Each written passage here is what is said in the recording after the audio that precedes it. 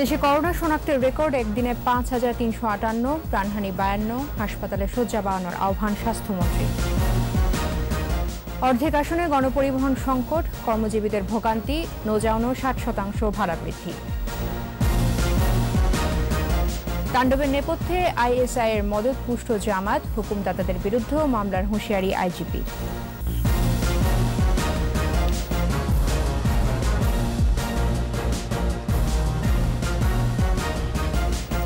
শুনছিলেন first security Islami bank limited সংবাদ শিরোনাম। আমন্ত্রণ জানাচ্ছি রাত নয়টার একুশে সংবাদে। আপনাদের সাথে আছে আমি তাজনুবা জাবিন। একুশে টেলিভিশনের সংবাদ, একই সাথে সরাসরি দেখতে পাবেন আমাদের Facebook page W W W dot Facebook dot com slash Ekushey twenty four অনলাইনে করোনা সংক্রমণের দুশো উননব্বইতম দিনে শনাক্তের সর্বোচ্চ রেকর্ড।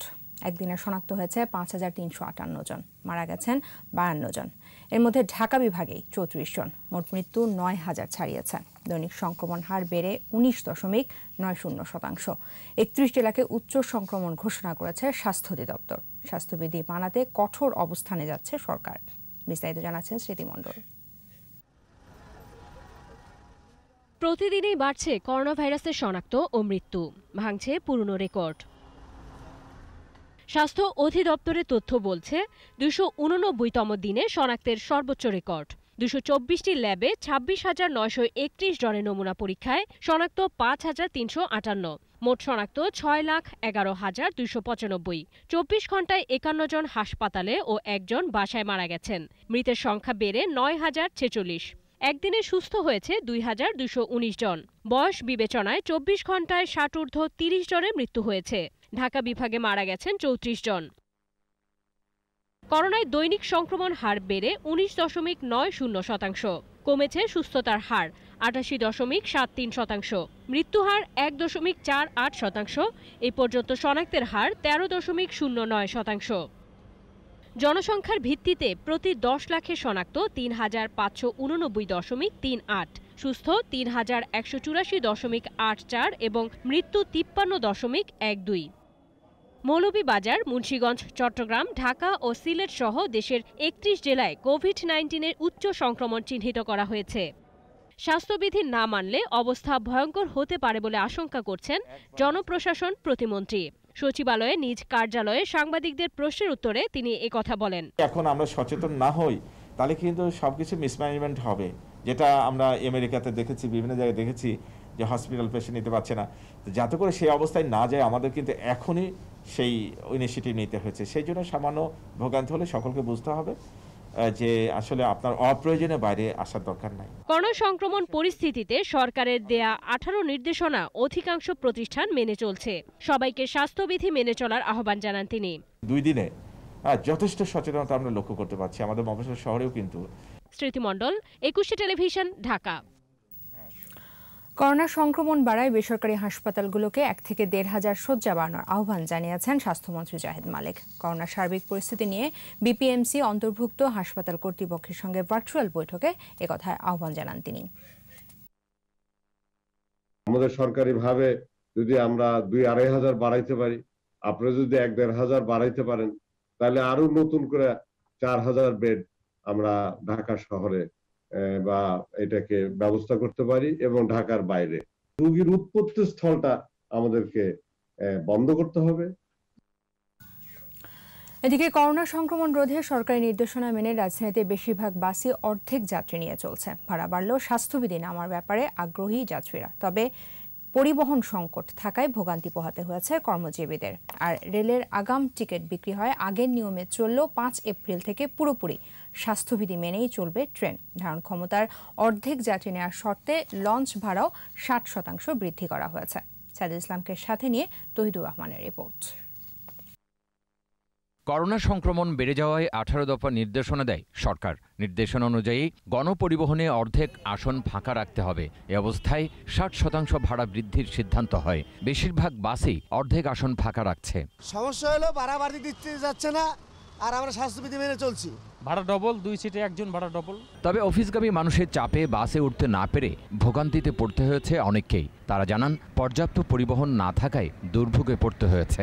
এত যাত্রী যাত্রী ভোগান্তির শেষ নাই। অর্ধেক করে দিছে না যার জন্য যাত্রীদের সমস্যা অনেক ব্যাপক ভোগান্তি। গাড়ি তো ভাড়া বেশি হঠাৎ করে মানুষের জানে অনেক মানুষের। গাড়ির স্বল্পতা গাড়িতে সিট থাকলেও নিচ্ছে না নিলেও ভাড়া দ্বিগুণের বেশি নিচ্ছে। নির্দেশনা আসার আগেই রেলের আগাম টিকিট বিক্রি হয়েছে। এই জন্য চার এপ্রিল পর্যন্ত আগের নিয়মেই চলবে ট্রেন। তবে স্টেশনে ঢুকতে স্বাস্থ্যবিধি বাধ্যতামূলক করা হচ্ছে। কমলাপুর স্টেশন ম্যানেজার জানান অগ্রিম টিকিট বিক্রি হওয়ায় স্বাস্থ্যবিধির কিছুটা লঙ্ঘন হচ্ছে। তবে কেউ টিকিট ফেরত দিতে চাইলে দিতে পারবেন বলেও জানান তিনি। প্রচলিত নিয়ম অনুযায়ী দশ দিন আগে টিকিট বিক্রি হতো। সে কারণে চার তারিখ পর্যন্ত আমাদের অনেক টিকিট বিক্রি আছে। আশা করি চার তারিখের পরে অর্থাৎ পাঁচ তারিখ থেকে আমাদের কোনো ডাবল মানে পাশাপাশি আসনে আর যাত্রী দেখবেন না। এদিকে স্বাস্থ্যবিধি মানা বাধ্যতামূলক করে বৃহস্পতিবার থেকে লঞ্চের ভাড়া বাড়ানো হচ্ছে বলে জানিয়েছেন নৌ পরিবহন মন্ত্রী। কালকে থেকে আমাদের ভাড়াও বাড়বে পরিবহনও বাড়বে এবং স্বাস্থ্যবিধি মেনে যাত্রীরা লঞ্চে উঠবে। এ সংক্রান্ত প্রজ্ঞাপন জারি করেছে বাংলাদেশ অভ্যন্তরীণ নৌ পরিবহন কর্তৃপক্ষ। এতে নৌপথে ভাড়া ষাট শতাংশ বাড়ানো হয়েছে। তৌহিদুর রহমান, একুশে টেলিভিশন, ঢাকা। সম্প্রতি ভারতের প্রধানমন্ত্রী নরেন্দ্র মোদীর সফরের বিরোধিতা করে বিভিন্ন স্থানে তাণ্ডবের পেছনে মূল ভূমিকা আইএসআই এর মদতপুষ্ট জামায়াত ইসলামের। দ্য ইকোনমিক টাইমসের প্রতিবেদনে বলা হয়, আন্দোলনকারীদের ভেতরে ঢুকে দেশের বিভিন্ন স্থানে ভাঙচুর ও অগ্নিসংযোগ করে জামাত ও শিবিরের ক্যাডাররা। শুধু তাই নয়, সামাজিক যোগাযোগ মাধ্যমে নানা অপপ্রচার চালিয়ে জনগণকে বিভ্রান্ত করছে তারা। জামাত শিবিরের নেতারাই জঙ্গি সংগঠনগুলোর মূল নেতৃত্বের বলেও উঠে আসে প্রতিবেদনে। বিস্তারিত জানাচ্ছেন আজহারুল ইসলাম। দেশের বিভিন্ন স্থানে এভাবেই তাণ্ডব চালায় মৌলবাদী সাম্প্রদায়িক গোষ্ঠী। দ্য ইকোনমিক টাইমসের এই প্রতিবেদনে বলা হয়, এই তাণ্ডবের পেছনে ছিল পাকিস্তানের গোয়েন্দা সংস্থা আইএসআই এর মদতপুষ্ট জামাতে ইসলামী। বাংলাদেশে ভারত বিরোধী প্রোপাগান্ডা সৃষ্টিতে অতীতেও আইএসআই জামাতকে ব্যবহার করেছে। মূলত নরেন্দ্র মোদীর সফরের বিরোধিতা করে আন্দোলনকারীদের ভেতরে ঢুকে বিভিন্ন স্থানে নাশকতা চালায় জামাত শিবিরের ক্যাডাররা। সূত্র উল্লেখ করে ইকোনমিক টাইমস জানায়, জামাতের মতো স্বাধীনতা বিরোধী গোষ্ঠী বাংলাদেশের স্বাধীনতাকে এখনও মেনে নিতে পারেনি। জামাত শিবির জনগণকে বিভ্রান্ত করতে নানা অপপ্রচার চালিয়ে যাচ্ছে বলেও উঠে আসে প্রতিবেদনে। এক্ষেত্রে জামাতের ফেসবুক পেজ বাঁশের কেল্লার নামও তুলে ধরা হয়। শুধু বাঁশের কেল্লাই নয়, এরকম আরও কিছু পেজ থেকে বিভিন্ন ধরনের ভিডিও পোস্ট করে রাষ্ট্রের বিরুদ্ধে গুজব ছড়ানো হয় বলেও প্রতিবেদনটিতে বলা হয়। আজহারুল ইসলাম, একুশে টেলিভিশন। স্বাধীনতার সুবর্ণ জয়ন্তী অনুষ্ঠান কলঙ্কিত করতে দেশের বিভিন্ন স্থানে হামলা হয় বলে মন্তব্য করেছেন পুলিশের আইজি ডক্টর বেনজির আহমেদ। ঢাকা সিএমএইচে চিকিৎসাধীন হেফাজত জামাতের তাণ্ডবে আহত পুলিশ সদস্যদের দেখতে গিয়ে সাংবাদিকদের বিভিন্ন প্রশ্নের জবাবে তিনি বলেন, স্বাধীনতার সুবর্ণ জয়ন্তী উদযাপনের দিন হেফাজত সারা দেশে তাণ্ডব চালায়। মাদ্রাসার কোমলমতি শিক্ষার্থীদের ব্যবহার করে থানায় হামলা চালিয়েছে তারা। এর আগেও তারা থানায় হামলা চালিয়েছে। ডাক বাংলোতে এবং ভূমি অফিসে আক্রমণ করা হয়েছে। আইজিপি আরও বলেন, ইন্ধন এবং মদতদাতাদের বিরুদ্ধেও মামলা হবে। যারা অনস্পট হামলা করে তাদের বিরুদ্ধে মামলা হয়েছে এবং তাদের তদন্তের সময় যারা যারা নির্দেশ দিয়েছেন, তারাও আসবেন, অসুবিধা কি? এদের সঙ্গে কি আপনারা একটু যদি আমরা ফিরে তাকাই, তাহলে তো আপনার কানেকশনটা কোথায় আমরা জানি? আপনারা সবাই জানেন, এবং নতুন প্রজন্ম জানে। মূলত সাবেক স্বাধীনতার সুবর্ণ জয়ন্তীকে কলঙ্কিত করার চেষ্টা করেছে। সংবাদে এ পর্যায়ে নিচ্ছি প্রিমিয়ার ব্যাংক লিমিটেড বিরতি। নো মাস্ক, নো সার্ভিস বিধি মেনে চলুন, সুস্থ থাকুন, ফিরে এসে যা থাকছে।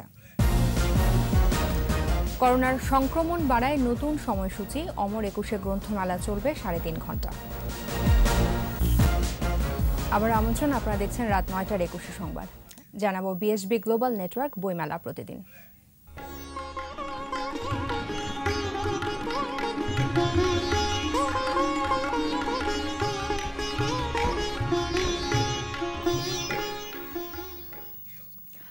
সময়সূচি কমলো অমর একুশে গ্রন্থমেলার। এখন থেকে বিকেল তিনটায় শুরু হয়ে সন্ধ্যা সাড়ে ছটা পর্যন্ত চলবে মেলা, আর ছুটির দিন খুলবে বেলা এগারোটায়।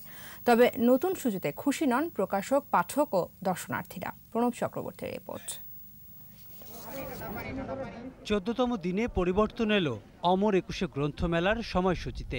করোনার ঊর্ধ্বমুখীতে সরকারের আঠারো দফা নির্দেশনা মানতে এ সিদ্ধান্ত নিয়েছে বাংলা একাডেমি। বুধবার মেলার শুরুতে জানানো হয় এখন থেকে রাত আটটার পরিবর্তে মেলা চলবে সন্ধ্যা সাড়ে ছটা পর্যন্ত। আর মেলায় প্রবেশ করা যাবে বেলা তিনটা থেকে ছটার মধ্যে। প্রধানমন্ত্রীর কার্যালয় থেকে নির্দেশ এসছে যে সন্ধ্যের পর পরই মেলাটা বন্ধ করে দিতে। তো সেটা সাড়ে ছটার সময় আমরা মেন গেট বন্ধ করে দেব এবং সাড়ে ছটার মধ্যে পুরো এলাকাটা খালি করে দেব। তবে এমন সিদ্ধান্তে হতাশ প্রকাশকরা আর্থিক ক্ষতির আশঙ্কা তাদের। সাড়ে ছটা থেকে আটটা সাড়ে আটটা পর্যন্ত রেগুলার ক্রেতা থাকে। তিনটা থেকে শুরু না করে সেটা চারটা থেকে শুরু করতো। বা পাঁচটা থেকে শুরু করে তিন ঘণ্টা সাড়ে তিন ঘণ্টা রাখলেও বিক্রেতা যারা আছে তাদের উপকার হতো। রাস্তায় প্রচুর মানুষের সমাগম দেখতে পারবেন। এখন একটা প্যান্ডামিক সময় চলছে কিন্তু এর মানে তো এই না যে শুধু বইমেলাকে কেন্দ্র করে এটা অফ করে দিতে হবে। এদিকে বুধবার অনেকটাই জমজমট ছিল একুশে গ্রন্থমেলা। তবে অনেকের মধ্যেই ছিল স্বাস্থ্যবিধি না মানা এবং মাস্ক ব্যবহারে অনীহা। বইমেলা আসলে তো অবশ্যই খুবই ভালো লাগে। মানে অনেক অফিস করে আসে। তাদের জন্য এটা আসলে কোয়াইট ডিফিকাল্ট সাড়ে ছটায় বন্ধ করে ফেলা। যদি আধা ঘণ্টা বা এক ঘণ্টার জন্য যদি সেটাকে একটু ছাড় দেওয়া হয় তার জন্য আমার জন্য মনে হয় ভালো হয়। যেটা হলে দেশের অবস্থা ভালো হবে সেটা মেনটেন করে চলাই বেটার গল্প উপন্যাস কবিতা সব মিলিয়ে এদিন মেলায় এসেছে সাতানব্বইটি নতুন বই। প্রণব চক্রবর্তী একুশে টেলিভিশন ঢাকা। ব্যবসা বাণিজ্যের খবর।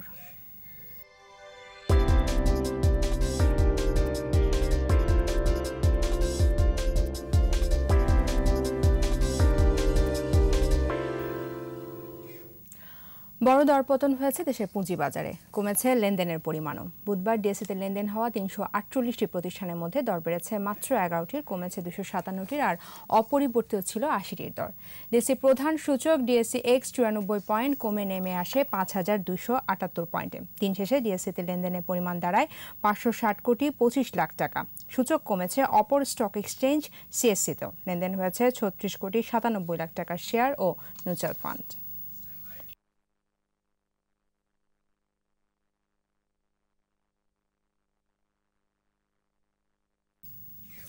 এর সাথে শেষ করছি রাত নয়টার একুশে সংবাদ। যাবার আগে first secure Islami bank limited সংবাদ শিরোনামগুলো জানাব আরও একবার। দেশে করোনা শনাক্তের রেকর্ড একদিনে পাঁচ হাজার তিনশো আটান্ন, প্রাণহানি বায়ান্ন, হাসপাতালে শয্যা বাড়ানোর আহ্বান স্বাস্থ্যমন্ত্রীর। অর্ধেক আসনের গণপরিবহন সংকট, কর্মজীবীদের ভোগান্তি নৌজানো ষাট শতাংশ ভাড়া বৃদ্ধি তাণ্ডবের নেপথ্যে আইএসআই এর মদত পুষ্ট জামাত হুকুমদাতাদের বিরুদ্ধেও মামলার হুঁশিয়ারি আইজিপির।